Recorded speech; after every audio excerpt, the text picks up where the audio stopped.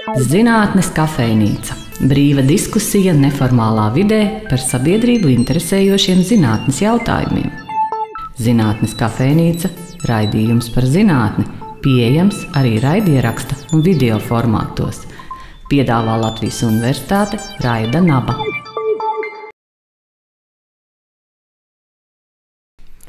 Uh, labi, tad uh, esam uh, tikušies uz kārtējo zinātnīs kafejnīcas uh, sēriju, ja tā varētu teikt, bet uh, varbūt jau ierastiem skatītājiem, klausītājiem esam nedaudz citā formātā. Šoreiz esam nevis uz diskusiju tikušies klātienē, lai runātu par zinātni un, un ap to saistītām tēmām. Bet tā vietā esam iebraukuši radio un abu studijā uz jaunu podkāstu formātu, kur šoreiz tādā ieraksta formā mēģināsim parunāties par, par tēmām, kuras tad arī šodien pārunāsim. Uh, un varbūt, lai sāktu teiksim, tādu iepazīšanās sēriju, uh, es varētu sākt ar sevi. Uh, es esmu Rudolfs, studēju fiziku, nu jau maģistrantūrā. Un, uh, ja man parasti jautā, kādēļ tieši fizika, tad es saku, ka tas ir, uh, manuprāt, tāda visfundamentālākā zinātne, caur kuru izprast uh, pasauli.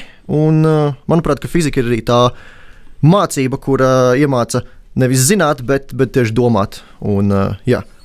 Un tad šodien uh, studijā mums ir ciemos uh, zinātnieks, profesors Mārcis Zauziņš. Un varbūt arī tādā līdzīgā stilā jūs varētu pastāstīt, kādēļ tieši par zinātnē šodien, kāpēc tieši par fiziku runāsim šodien. Uh, es teiktu, kādēļ par fiziku tā droši vien ir jūsu izvēle. uh, pie, pie jūsu tā pieteikuma, ka jūs studējat fiziku un kāpēc tas ir interesanti, Tad, kad es izvēlējos studēt fiziku, man pavisam viennozīmīgi bija skaidrs, ka es gribu tikai fiziku un neko citu. Man šķita, ka tā ir visinteresantākā, visfundamentālākā zinātne, ar, ar, uh, uz kuras bal balstās uh, daudzas citas lietas.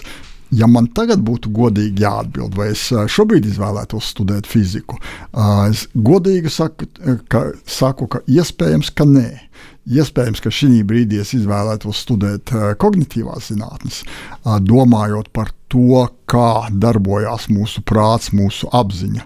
Un, ja mēs sākam no fizikas, ja, kāpēc tai atomu kaudzītei, no kā visi mēs esam veidoti, uh, kaut kādā brīdī radās apziņa, ar to es saprotu uh, emocijas, mēs kādu mīlam. Uh, tie, kas saka, ka nevienu neienīst, droši vien nesaka, nesaka pilnu patiesību. Kādu mīlam, kādu ienīstam, mums ir kaut kādi mērķi dzīvē, kaut kādas lietas mūs motivē, kaut kādas lietas mūs nemotivē. Un mūsdienu zinātnē šis iespējams ir viens no sarežģītākajiem un absolūti neatbildētiem jautājumiem. Un, kā jau situācijās, kad ir jautājumi un nav atbildes, tad to varētu salīdzināt ar tādu gandrīz neraktu lauku vai neārtu lauku. Un, un, protams, tad, kad pirmās vagas tiek dzītas, tāpat kā tas bija 20. gadsimta sākumā fizikā, nu, tad notiek patiešām lielas lietas. Es neteiktu, ka kognitīvā zinātnē zinātnēs tas jau notiek, bet man šķiet, ka mēs esam uz sliekšņa, ka tūlīt tas varētu notikt. Mm, upē, tā bija ļoti, ļoti, ļoti negaidīta atbilde. Bet, uh, jā, tad, uh, Izklausās, ka tas būs kaut kas tāds, pie kā mēs arī vēlāk varēsim uh, jau iebraukt uh, atpakaļ. Bet uh, varbūt sākumā tad. Uh, Meklējot jūsu platformā Google, uh, pirmais ieraksts, kas, kas izlaiž ārā, ir, ir Džeks ar ģitāru rokā. Uh, Uh, un, un, un cik es esmu dzirdējis, tad ir zināmi pārpratumi šeit arī notikuši ar, ar mūziķu Mārciņu Auziņu, arī, uh, ka, ka jūs esat saņēmis uzaicinājumus muzicēt. Uh, ir, ir dažādi pār, pārpratumi, patiešām bijuši uh, teiksim, divus, ko es atceros. Uh, bija viens uh, Rotary klubs, un rot, Rotary klubā ir tādi formāti, kad uh, nu, kāds no kluba biedriem var uzaicināt uh, kādu no viesiem. Un vienā šādā Rotary klubā es biju uzaicināts kā viesis, un tad uh, tas vad, vad, vakara vadītājs iepazīstina, ka pie mums ir ciemos Mārcis Sauziņš un to un to un šito dara, un arī teicami spēlē ģitāru. Nu, tad man bija jāsaka, ka uh, iespējams, ka šī stāsta daļa nav par uh, mani. Un uh, stipri nesenākā laikā, patiesībā vairāk kā vienu reizi, es esmu saņēmis telefonu zvanus, kurus saturs ir apmēram tāds: uh, Klausies, Mārcis! Pēc divām nedēļām tu, tu pie mums brauc ar koncertu.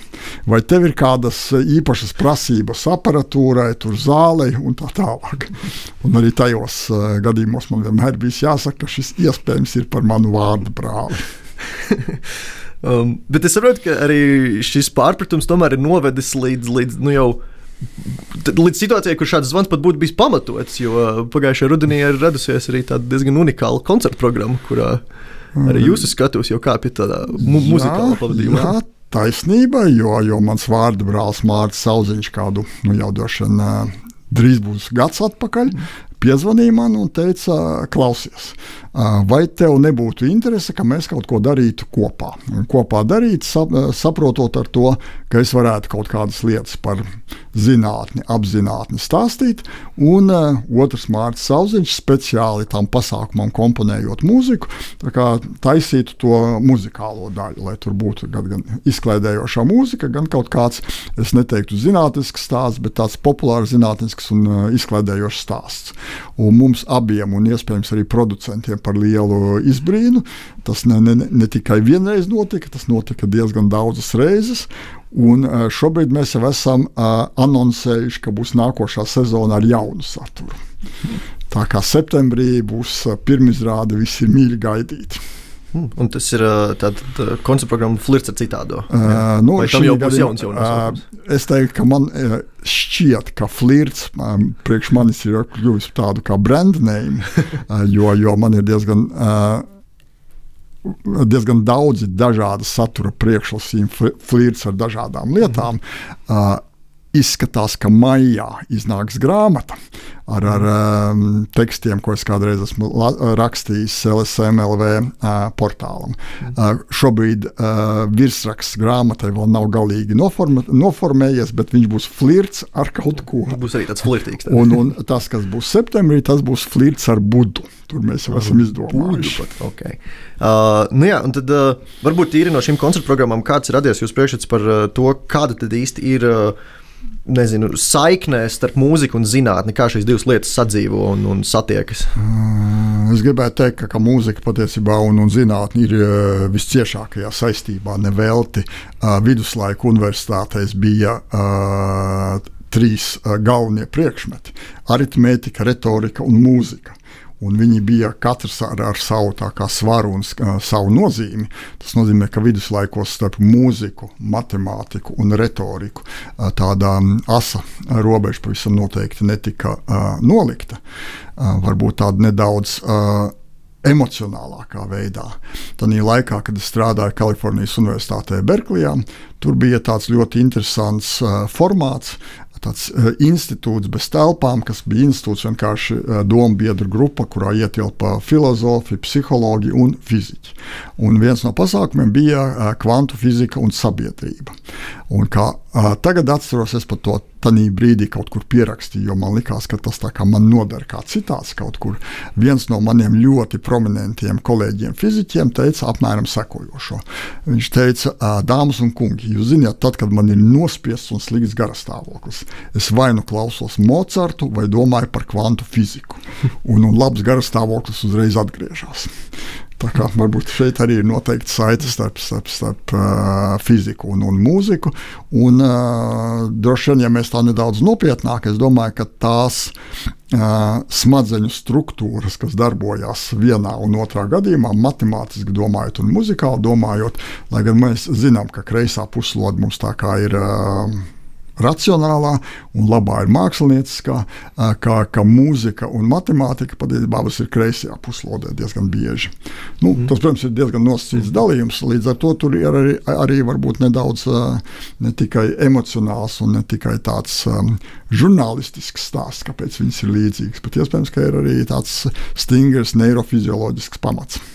Arī nevelti bieži ir. Uh redzēts, to, ka teiksim, tādiem eksaktiem cilvēkiem, ir īpaši man arī starp uh, kolēģiem, studentiem, ir ļoti daudz tomēr arī muzikāli cilvēki, kas ir savā laikā.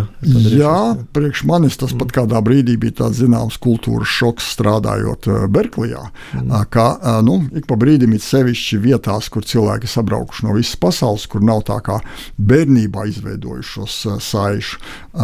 Profesori daudz vairāk um, viens pie otra iet uz mājas ballītēm, nekā varbūt tas ir Latvijā, kur mums katram ir no mm. bērnības, no skolas kaut kādi loki, kuros mēs uh, brīvo laiku pavadām. Un tur, ejot uz šīm mājas ballītēm, ja tā var teikt, pie kolēģiem, matemātiķiem un fizikiem, uh, es pat bieži vien izjūtu tādu zināmu uh, nepilnvērtības sajūtu.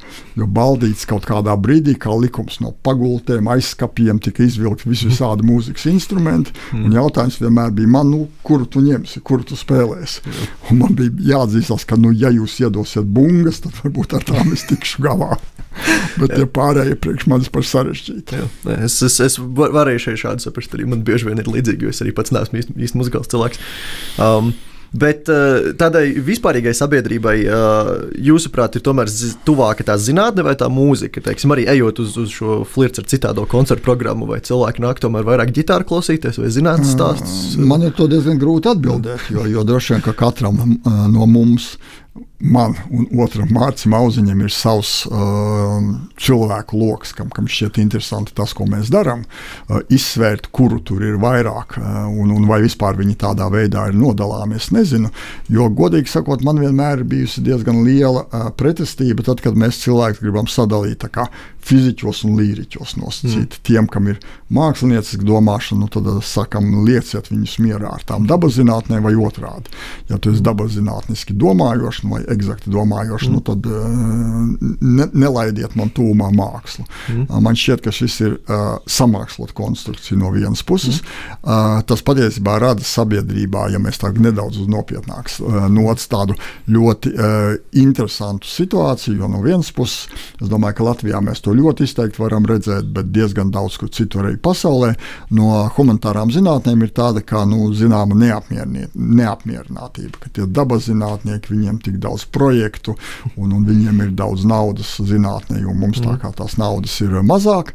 Un no otras puses, es teiktu, eh, es ne, nelietošu vārdu augstprātība, bet tāda mm. zināma pārākuma sajūta, eh, ka nu, viņi jau tur ar tām ļoti piezemētajām, praktiskajām, neinteresantajām lietām, mēs ar tām augstajām un smalkajām matērijām.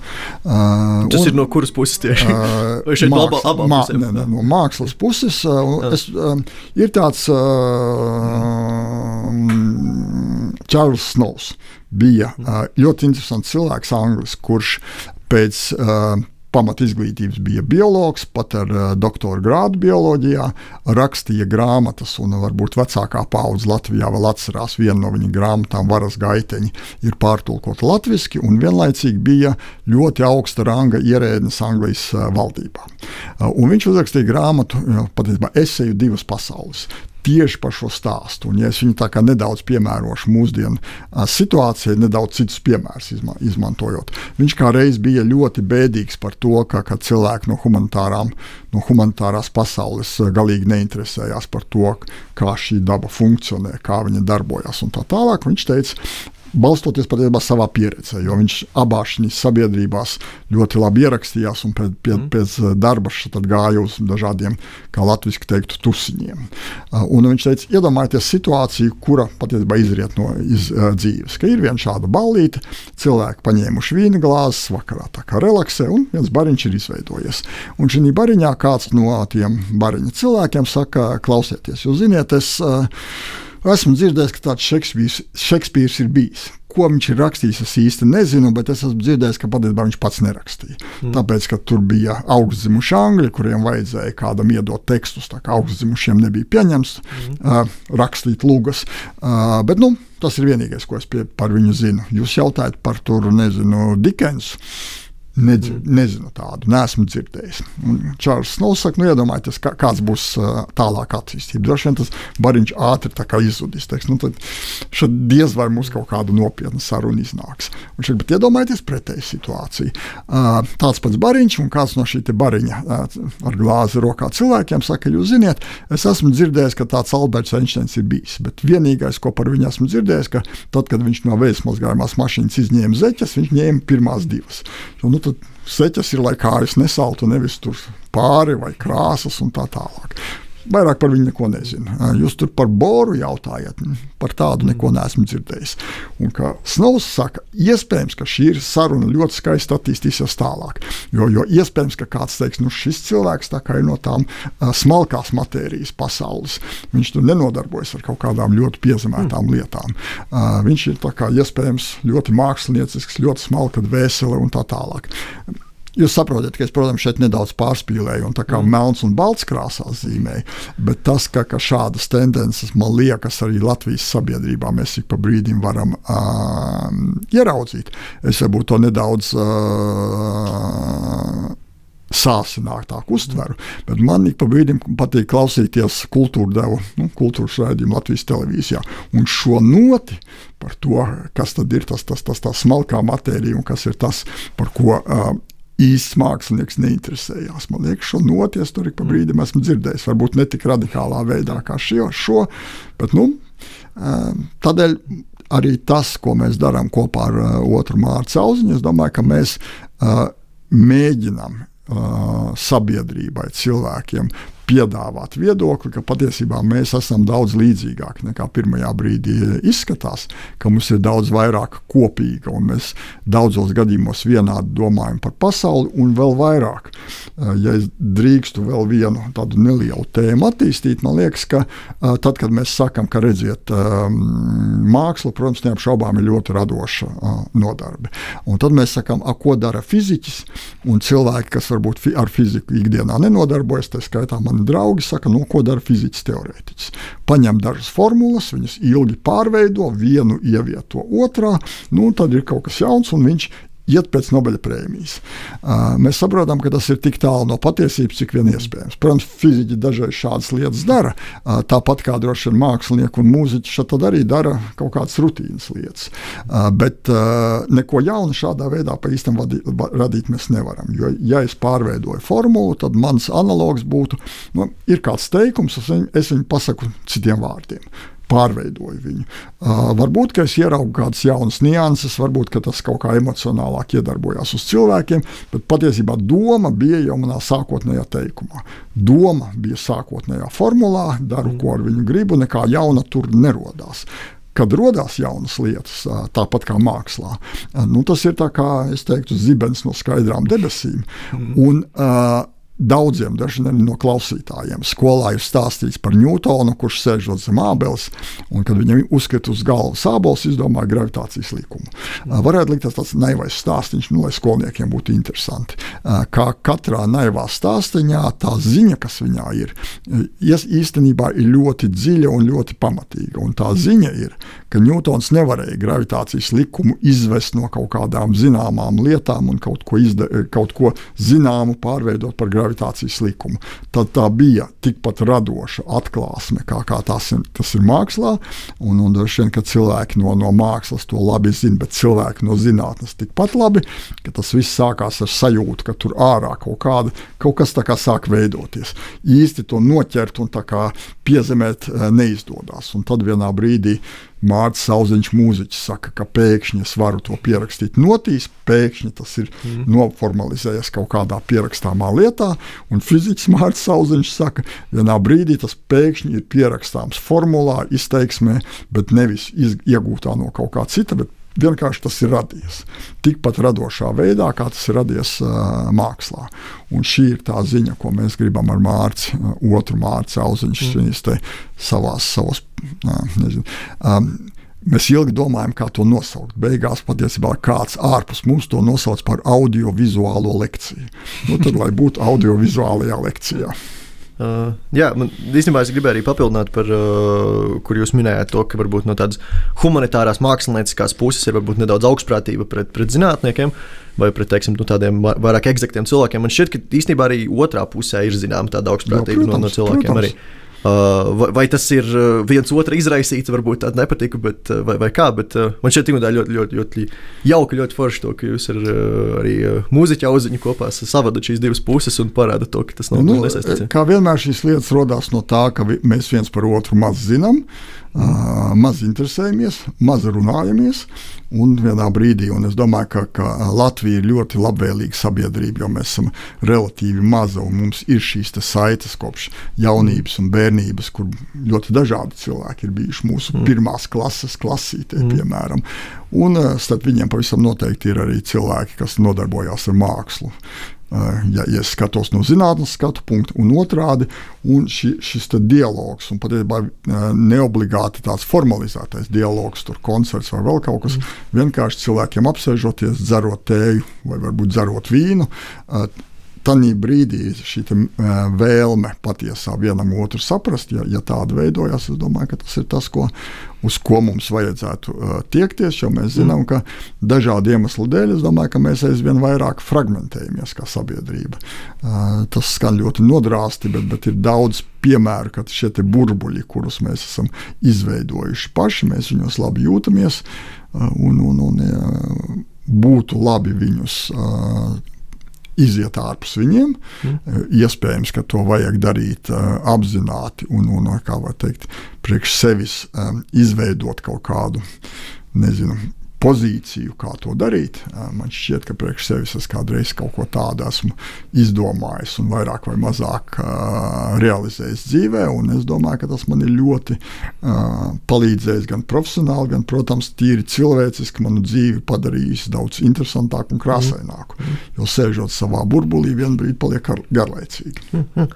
Uh, tad, vai, vai šāda koncerta programma ir? Uh No, es zinu, ka šāda koncerta programma nav vienīgais veids, kā, kā jūs teiksim, sabiedrībai nesat teiksim, zinātni tādā varbūt sagremojamākā formā.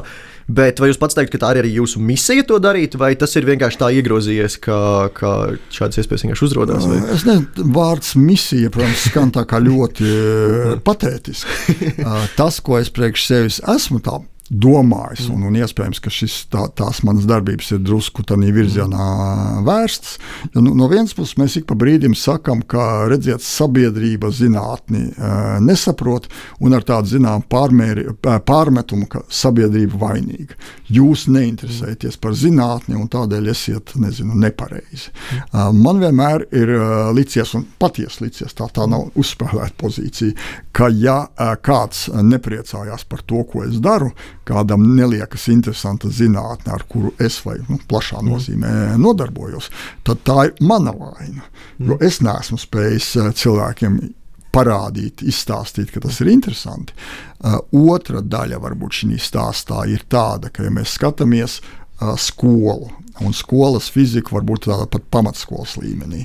Uh, patiesībā tūlīt atkal notiks uh, fizikas festivāls skolniekiem, mm. Fizmiks, un, un uh, redzot, cik daudz tur ir jaunu cilvēku ar degošām acīm un kam ļoti patīk fizika, un viņi ir ļoti daudz šajos mm. pasākumos. Un tad mēs nonākam līdz augstskolai, kas iestājās uh, egzaktozinātņu fakultātēs, un mēs redzam, ka iestājās ļoti nedaudzi no tiem. Mm. Viņi kaut kur pa vidu ir pazuduši. Un mana viena hipotēze un versija, kurā, kurā vietā viņi ir pazuduši. Viņi pazuda tajā brīdī, kad mums ir daudz pasākumu skolniekiem un ļoti maz pasākumu. Es uzdrīkstēšos apgalvot viņu vecākiem un vecvecākiem, kuriem ir ļoti liela ietekme uz jauniem cilvēkiem skolas laikā, neapšaubāmi. Un ja uh, ar šiem šo paudzi. Mēs viņiem nemēģinām stāstīt, ka zinātne pirmkārt ir forša un interesanta, bet otrkārt, ka, ja tā drīkst teikt, tiešā tekstā tā nav badamais. Un absolūti nav badamais, ja mēs skatāmies veiksmīgus zinātniekus un veiksmīgus zinātniskos mm. kolektīvus. Un ja mēs neesam šo ziņu uh, nodevuši, nu tad uh, vecāki mm. ļoti bieži varētu iedomāties sarunu, kad, kad jaunam cilvēkam vectēvs vai, vai tēvs saka, nu, forši, ka tev pat, patīk tā fizika, bet nu taču padomā par savu nākotni. Nu, tev būs ģimene un, un, mm. un, un bērni būs jābaro, vai, vai, vai tev būs uh, ģimene un bērni būs jāaudzina. Nu, atkarībā meitenei vai puisim šie vecāki to stāsta. Bet, nu, kad, tā, tā, tā ziņa ir, ka, nu, tu, ja tu gribi, lai tev būtu veiksmīga dzīve, tad nodarboties ar zinātni nav prātīgi. Un, un tādēļ man šķiet, ka stāstīt, ja tā drīkst teikt, pieaugušiem cilvēkiem par zinātni ir arhi svarīgi. Bet tā ir tā kā mana racionāli noformētais stāsts. Tad, kā es pie tā esmu reāli nonācis, visdrīzāk tas ir, nu, tas ir tā, ka man patīk, ja es tā drīkstu teikt, pozitīvās avantūras. Tāpat kā otrs Mārcis Kalniņš mani atrada un teica, vai tu negribi. Un atzīšos, viņam nebija ļoti ilgi man jāpierunā. Tāpat, ja kaut kādi 70 raksti portālā LSM mani uzrunāja. Portāls es drusku, ja tā drīkst teikt, palauzos. Nevis tāpēc, ka man patīk lausties, bet, bet tāpēc, ka nu, es saprotu, ka ja man bija. Um, pusotra gada laikā katru nedēļu jāuzraksta slēja, nu, tas ir zināms izaicinājums. Uh, apzinoties, ka tas nebūs viegli, bija man kaut kāds pārdomu periods, bet nu, beigās es piekrītu to darīt. Līdz ar to uh, drīzāk tā, ka es. Uh, izmantoju iespējas, kas manā virzienā ir nākušas. Tā nav mans metodisks darbs. Tāpat es teicu, ka šīs slēdzas uh, iznāks, atcīm redzot, mājā izdevniecībā Jumava. Uh, arī tā nebija mana. Uh, nu, Es teikšu tā, ka kaut kur um, zemapziņā man bija sajūta, ka nu, uzrakstīt slēdzas internetā, protams, ir uh, labi, uh, bet nu, gribētos varbūt, lai viņas uh, drusku ilgāk saglabājās. Un tad nāca uh, izdevniecības juma uh, vadītājs Juris Visockis un teica, klau, vai tev nebūtu interesanti, ja mēs to mēģinātu izdot. Nu, tāds notika. Tad, tad kopumā jā, tad, uh zinātnē vajadzētu tomēr censties iet pie sabiedrības. Absolūti viennozīmīgi. Absolūt viennozīmīgi. Mm. Nu, zinātnē, eh, jebkura zinātne, un dabas zinātnē skaitā, nav ļoti vienkārša lieta. Eh, un, un, un eh, līdz ar to par viņu ir jāmācās stāstīt un jātrenējas stāstīt. Tur ir gana liela izaicinājuma. Mēs varbūt neizvērsīsim šo tēmu, bet patiesībā popularizēt zinātni. Tur ir uh, balansēšana starp vienkāršību un tik liela vienkāršība, ka tā vairs nav patiesība. Un, un, un tā robeža ir ļoti smalka un sarežģīta, un, un, un to ir jāmācās darīt. Uh, bet pavisam noteikti es esmu pārliecināts, ka cilvēkiem, kas ar to nodarbojas, ja mēs gribam, lai arī citi par to priecātos, un man šķiet, ka ir par ko priecāties, nu, tad mums te, šis stāsts ir jāveido un šo te, um, parādīt, par ko priecāties. Tas ir mūsu uzdevums. Un tad uh, jūs uh, iepriekš minējāt par to, ka nu, varbūt kāds vecāks varētu domāt, to, ka iet zinātnē tas nav prāta darbs, ka, ko, tad, ko tad īsti tāds zinātnēks tur sasniegs. Tad, uh, kā tad īsti ir, vai no Latvijas var izsisties kaut kur uz ārzemēm, nu, cik lielā mērā tad, tad, nu, vai, vai tas ir tīri veiksmes stāsts, vai tomēr tā ir realistiska iespēja iet kļūt par zinātnieku eksaktajā jomā, varbūt tieši domājot. Jā. Absolūti viennozīmīgi. Un, un vai tas ir veiksmes stāsts, nu, kā jebkurā nodarbē dzīvē, kaut kāda daļa veiksmes tam vienmēr ir klāta. Veiksmi, kā mēs atkal triviāli, bet zinām, piemeklē tikai tos, kas kaut ko dara. Ja es tā kā sēdēšu savā istabā un teikšu, es esmu šausmīgi gudrs, kur tā veiksme, kāpēc viņa pie manis nenāk, tā tas nenotiek. Un, un tas, ka, ka ir iespējams, nevis ka ir iespējams darīt, mums ir milzu daudz piemēru ar, ar to, ka mēs esam lielās zinātnes daļa. Nu, tas varbūt būs nedaudz nekautrīgi, bet sevi kā piemēru izmē, izmantot tādā nozīmē, ka nu, to es vislabāk, mm. kuru tad es vislabāk pazīstu, ja ne sevi. Nu, tad manas monogrāfijas ir izdotas Oksfordas Universitātes izdevniecībā, Kembridžas Universitātes izdevniecībā. Tūlīt, starp citu, tikko ir iznākusi. Es vēl neesmu saņēmis savu eksemplāru. Tas gan ir lielāka autora kolektīva darbs humanitāro zinātņu izdevniecībā Brīl, kas ir, liekas, 200 gadu sena izdevniecība, viena no mm. vadošām humanitāro zinātņu izdevniecībām. Un ar šo sakot, ka es sevi izmantošu kā piemēru, tas nenozīmē, ka es esmu vienīgais piemērs. Tādu piemēru ir mm. gana, gana daudz Latvijā. Tā kā es domāju, ka mm. tā ir nevis iespējamība, tas ir tas, kas notiek. Mm. Šit tas arī, kā, arī jūs par kā piemēru izmantojat. Tas bija teiksim, tāds pirmais. Uh, varbūt man saskara ar to, ka kā, oh, kā tu vari arī Latvijā pat ne tikai satikties ar zinātniekiem, kas jau pasaules līmenī jau zinām, bet pat uh, vienkārši aiziet uz studēt un pēkšņi kā, nu, nu, nonākt lekcijās pie tādiem zinātniekiem. Tas arī varbūt bija pārsteigums nedaudz. Um, bet labi, ja reiz esam iebraukuši beidzot tajā fizikā tā līdz galam, tad uh, dzirdēju, lasīju, ka esot eh, nesen noslēdzies tāds visai veiksmīgs un liels priekš Latvijas pētījums, arī eh, Lāzera centram un CERN sadarbojoties. Uh, varbūt var par to nedaudz pastāstīt, tad, ko mēs īstenībā tur Jā, tā, tā, tas bija viens pētījums, kurš vainagojas ar publikāciju ļoti prestižā žurnālā, manā droši vien zinātnīs karjerā, un droši vien ne tikai manā. Tā ir gan unikāla situācija tādēļ, ka tajā dienā, kad raksts parādījās žurnālā, 20 ziņu aģentūras pasaulē, BBC, Lamont un vēl vesela rinda par šo pētījumu uzreiz ziņoja. Mm. Protams, tur ir, ja es tā ļoti godīgi uz šo mm. gribu atbildēt, mēs saprotam, ka CERN, Eiropas apvienotais kodolpētniecības centrs, protams, rūpējās arī par to, ka šie pētījumi būtu zināmi. Mm. Tas nebija bez tā, ka publiskās attiecības vai departaments CERNā gatavoja šo, šo augsni un, un, un veicināja ziņu aģentūru interesi. Bet nu, skaidrs, ka ziņu aģentūras var ieinteresēt tikai tad, kad ir par ko ieinteresēt. Mm. Uh, un, uh, protams, tas ir kā jau cernā lielākas pētnieku grupas darbs. Rakstā bija 50 autori tikai divi no Latvijas. Mans mm. doktorants Valds Krūmiņš, un man bija tas gods būt šajā rakstā. Bet no otras puses, tipiski cerna raksti, piemēram, par, par Higsa bozonu, tipisks skaits autori mm. ir 3000. Tā kā 50 bija uh, ļoti neliels uz šī fona, un tas nozīmē, ka nu, šie 50 ir tie, kas diezgan tuvu ir bijuši tā, tam. Uh, tam eksperimentu būtībai. Jo, ja 3000 tas nenozīmē, ka, nevien, ka tie daļa neko nav darījuši. Tas nozīmē, ka ir milzīga rūpnīcas eksperiments, dažādi detektori. Viens ir vienu detektoru gatavojis, kāds mm. citu, citu, kāds ir uh, programmējis, lai no detektoriem pietiekoši operatīvi varētu datus nolasīt un tā tālāk. Bet tad, ja mēs par šo eksperimentu, eksperiments ir par to, ka viens no, ja mēs par, es teicu, kas ir vispār zinātnē, manuprāt, tāds atslēgas jautājums, tad fizikā viens no ļoti lieliem un absolūti neatbildētiem jautājumiem ir, kur ir palikusi visa antiviela.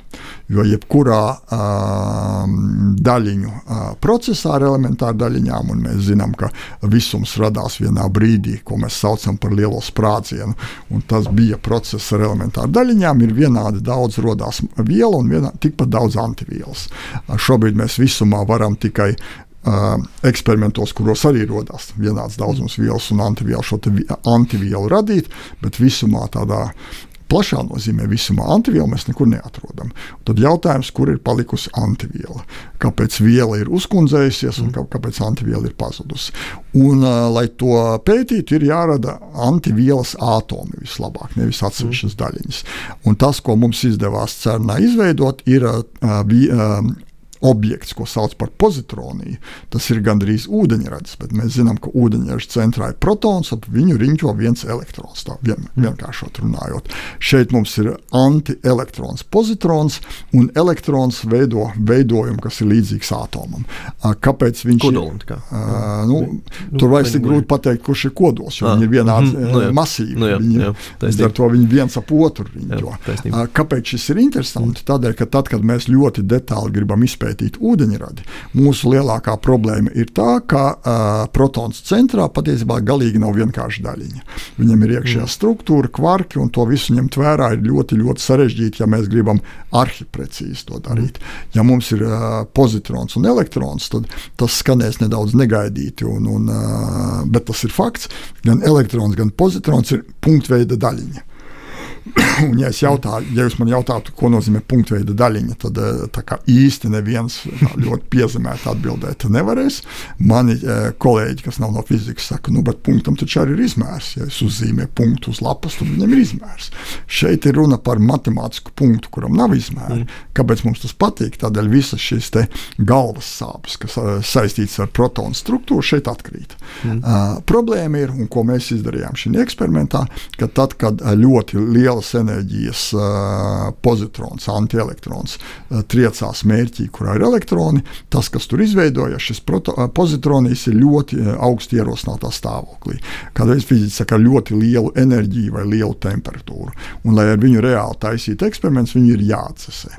Un izrādās, ka lāzeri ir ļoti efektīvs veids, kā to darīt. Un, nu, mums izdevās ļoti ievērojami atdzesēt šo pozitroniju, lai ar viņu varētu sākt domāt par tādu uh, klasisku eksperimentu veikšanu. Tas tā ļoti īsi mm. ceru, ka ne ļoti sarežģīti. Tas varbūt liekas nedaudz pretrunīgi, ka ar lāzeru kaut ko atdzesēt. Uh, jā, tas var, es nezinu, vai tas izklausās pretrunīgi, bet tad, kad mēs nu, runājam, varbūt, par, nu, kā, tad, kad mēs runājam par parasto vielu, nu, pavisam viens īsts piemērs. Ja mēs jautātu, nu, kur visumā ir viszemākā temperatūra, kur ir vislielākais augstums, nu, tad atbildēšana būtu ļoti tālu no, no, no visām zvaigznēm, starpzvaigžņu telpā. Nu, tur ir tik augsts, cik ir iespējams. Um, Tie, kas zina absolūto skalu Kelvina grādos, mm. uh, tiem es teikšu, ka, ka temperatūra šī vietā ir 3 Kelvini. Mm. Uh, mūsu istabas temperatūra ir 273, tur ir 3 Kelvini. Mm. Dabiski zemākā temperatūra, kāda ir iespējama visumā. Ar lāzeru mēs esam iemācījušies, un par to pat ir bijušas Nobela prēmijas, mm. atdzesēt atomus miljardu reižu augstākus, līdz nanokelviniem. Tas ir 10 mm. minus 9. pakāpē kelvina. Līdz ar to, ar, to es gribu teikt, ka lāzers ir ļoti, ļoti efektīvs veids, kā dzesēt uh, atomus. Uh, pozitronī tik traki mums atdzesēt neizdevās. Nu, tur ir tehniski mm. iemesli, kurus droši vien mēs neiesim detaļās. Bet līdz ar to, ja mēs varam parastus atomus ļoti efektīvi dzesēt, dzēsēt ar lāzeru, tad, protams, mēs varam arī šos antiatomus tādā pašā veidā dzēsēt. Hmm.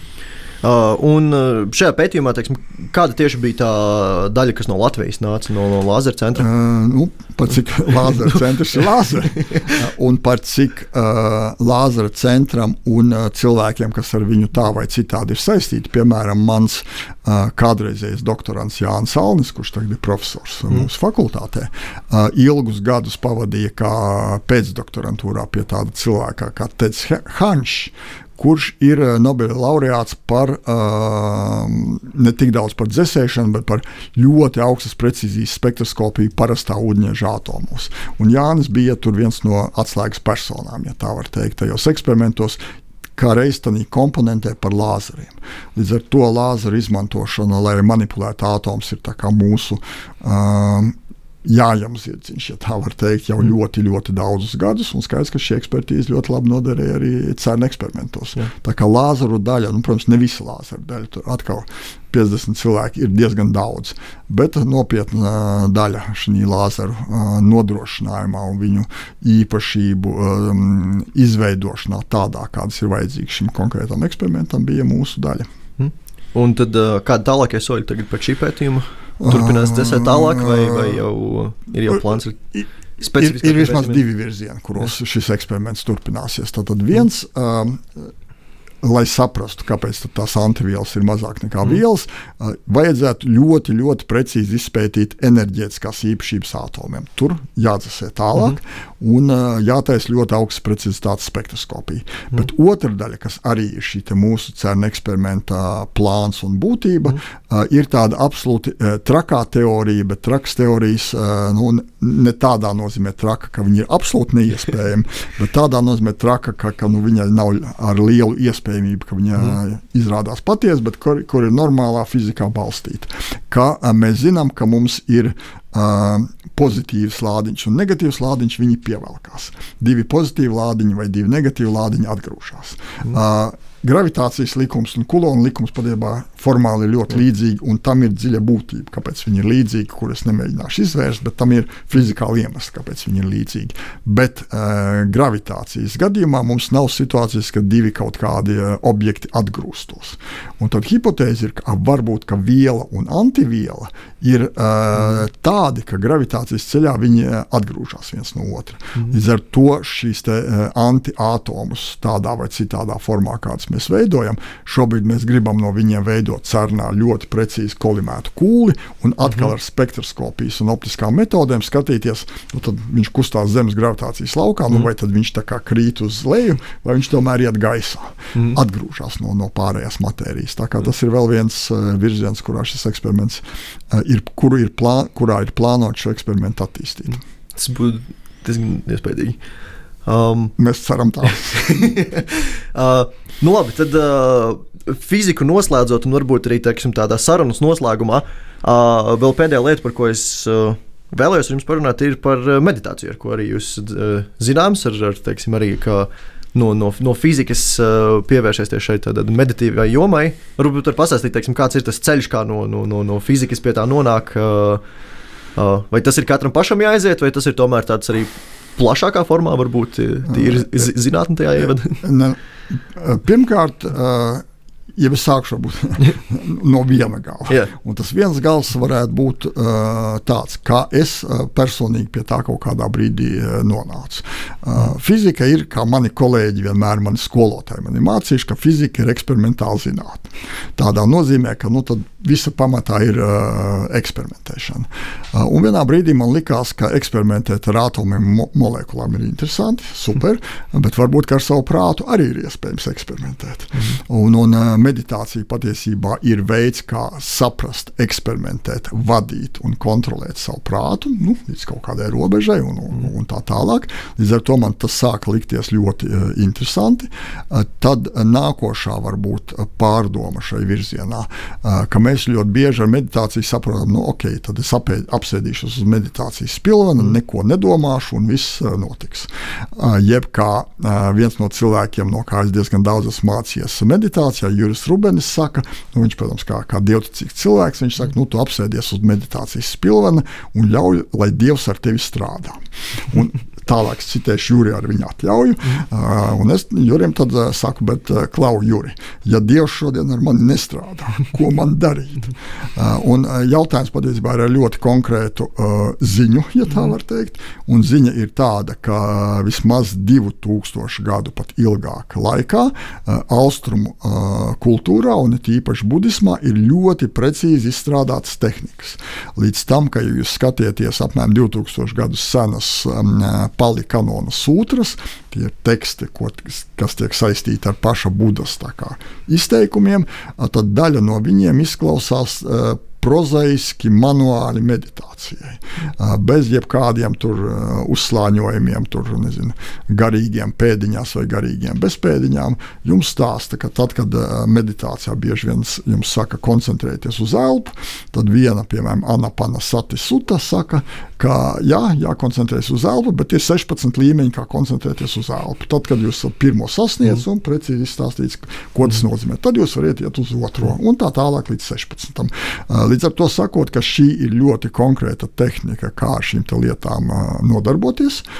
Un varbūt nedaudz atgriežoties, jo droši vien laiks strauji iet uz priekšu pie zinātnes, ka šobrīd ar tām pašām neirofizioloģijas metodēm, ka mēs ļoti precīzi varam eksakti mērīt, kas notiek mūsu smadzenēs, vienas vai otras kognitīvas darbības rezultātā, tā skaitā, kas notiek meditācijā.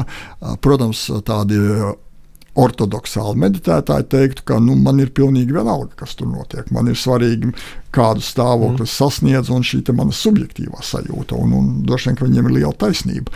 Man kā cilvēkam no dabas zinātnēm ļoti uh, uzrunājoši ir, ja man blakus noliek, redziet. Uh, tādam pieredzējušam mm. meditētājam, un var daudz runāt, ko nozīmē mm. pieredzējis meditētājs. Tur arī ļoti konkrēti um, kritēriji, kā to noteikt. Mm. Pieredzējušam meditētājam patiešām var redzēt, kā smadzeņu apgabali, kas ir aktīvi mm. tajā brīdī, kad uh, tādā ikdienā mēs saucam, tas ir klejojošu domu tīkls. Tā kā mēs ejam mm. pa ielu un neko nedomājam. Mm. Un tad, kad mēs neko nedomājam, tad mēs pēkšņi iedomājamies rītdien šitais, vakar tas un, un vispār tur dzert gribās, un, un vispār tur pusdienas nesmu ēdis. Mm. Domas midžinās, šaudās pa galvu. Mm. Uh, un uh, kā tad, kad mēs koncentrējamies, kā mēs meditējam, kā reāli mūsu smadzeņu darbība nomierinās, kuros apgabalos parādās aktivitātes. Līdz ar to, ar to es gribu teikt, ka patiesībā ir ļoti precīzi šobrīd redzams, nomērāms, pierādāms, ja gribiet, ka meditācijas laikā kontrolēta apziņas darbība ir reāla kontrola apziņas darbība darbībai, un jūsu process smadzenēs ļoti konkrētā veidā mainās, tad, kad jūs esat meditācijā. Līdz ar to es gribētu teikt, ka šeit arī ir nopietna nu, pētniecības komponenta iespējama, un, mm. un cilvēki ar to šobrīd pasaulē ļoti aktīvi nodarbojas. Mm. Un tad uh, varbūt uh, priekš tādiem iesācējiem, priekš manis tevis skaitā, kas būtu teiksim, tādi pirmie soļi, ar ko tad, uh, iesākt, pie kā vērsties un uh, kur, kur, kur varbūt meklēt informāciju vai, vai kā pašam sākt? Ne, nu, es droši vien nebūtu pareizi, ja tagad teiktu, ka šī grāmata ir laba vai, vai kāda cita grāmata ir laba. Tas, ko varbūt tādā vispārējā veidā es gribētu teikt, ka, ka droši vien kā, kā visās šādās situācijās, un kā patiesībā daudzas austrumu uh, mācības mācīja, ir tāda maģamaka. Um, teorija, praksa, mm. kur saka, ka vidusceļš. Un vidusceļš nozīmē, ka uh, ir drusku jāzina, kas tas ir un jāsaprot tādā intelektuālā līmenī, kāpēc es to daru, kā to daru un tā tālāk. Uh, un otra, pavisam noteikti, ir ļoti konkrēta uh, praktizēšana. Uh, ļoti labi būtu, ja, ja sākotnēji ir kāds, kurš kā nedaudz pamāca, parāda, mm. pastāsta. Jo nu, var jau no grāmatas izlasīt un domāt, ka es tagad sapratu un zinu un mēģināšu darīt. Un mm. Es negribu teikt, ka tā nevar izdarīt mm -hmm. un ka tur kaut kas nevar arī nesanākt. Ka, ka tur nevar nekas sanākt. Tur var, var sanākt. Bet tas, ko, ko droši vien vajadzētu saprast, ka ja es gribu šo izmēģināt, tad to jādara nopietni. Un arī jādara nopietni. Es domāju, ka pirmkārt jāatrod tomēr kāda vai nu labs skolotājs vai nopietna grāmata, jo kādu. Mēnesi atpakaļ, tepat nākot gar stūri, gar grāmatnīcu, es, piemēram, ieraudzīju vienu grāmatu, kuras saucās sekojoši Kā kļūt par budu septiņās dienās. Nu, tad es gribu teikt, ka grāmatas ļoti dažādas. Diez vai šī ir tā grāmata, kas, kas īpaši palīdzēs. Izklausās pēc vislabākā tieši. Varbūt, ļoti ātri vismaz. Un dažiem, ka bez liels piepūles. Tas, ko es gribu teikt, ka vajag nopietnu pieeju un nopietnu skolotāju tekstu un tā tālāk. Otrādi ir jāsaprot, ka tad Tanī ir jāinvestē laiks, pēc tam varbūt izrādīsies, ka šis nav mans ceļš, un, un tā ļoti var būt. Bet, lai zinātu, ir vai nav, tad ir jāinvestē uh, nopietnas laiks. Nu, nopietns laiks nozīmē, ka, nu, tad, ja mēs to praktizējam, nu, tas tāpat kā ja mēs uh, ietu uz sporta zāli, teikt, nu, reizes mēnesī aiziešu. Mm. Mēs saprotam, nu, ej vai nē, no tā starpības mm. liels nebūs. Tad sistemātiski to darīt, nu, tad pēc kāda laika paskatīties, vai, vai tas strādā vai nestrādā. Es domāju, ka lielākajai daļai cilvēku strādā, bet nu, kādam nestrādā arī. Nu, tad es vienkārši saku, ka tas nav mans, tad es darīšu kaut ko citu. Nu, tad gan ar praksi, gan ar teoriju, gan ar mākslu, gan ar zinātni. Esam izgājuši daudz kam šodien cauri. Es teikšu, paldies. Un paldies. Tad, uh, šodien zinātnīs kafejnīcas durvis varam ciet. Un, uh, labi, tad tiekamies nākamajos sērijās, laikam. Jā, paldies. paldies. Zinātnes kafejnīca. Brīva diskusija neformālā vidē par sabiedrību interesējošiem zinātnes jautājumiem. Zinātnes kafejnīca - raidījums par zinātni, pieejams arī raidieraksta un video formātos. Piedāvā Latvijas Universitāte Raida Naba.